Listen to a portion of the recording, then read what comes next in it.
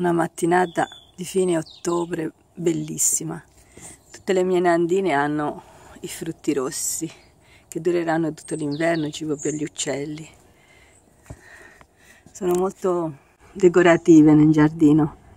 Tutto l'inverno si sbizzarriranno con questo colore.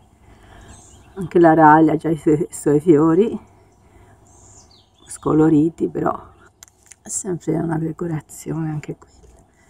Poi ci sono le vacche delle rose ormai andate, sempre rosse anche loro. Ci abbiamo un giardino tutto colorato anche d'inverno, sempre qualche rosellina tardiva, in fioritura tripla, quadrupla.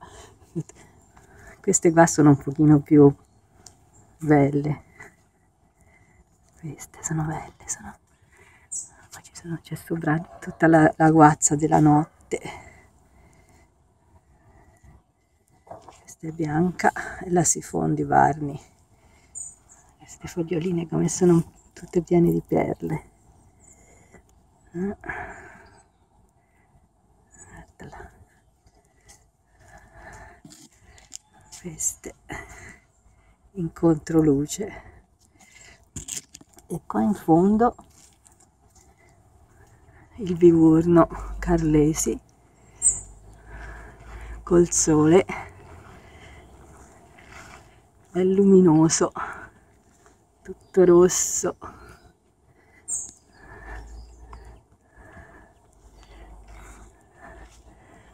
Anche lui con tutte le foglie in controluce molto bello. Vicino alla alla bella grandiflora che ora fiori ne ha pochi. Questi qui bianchi però c'è tutti questi calici rossastri che decorano quest'angolo di giardino. Tutto bagnato dalla notte. Il mio archetto di rose sta ancora dando fiori. Anche piovuto l'ha tutti un po' fatti sfiorire però ce ne sono ancora qui ancora raglie, ancora nandine, l'anemone giapponese, molto delicato, molto carino. Peccato questa cosa.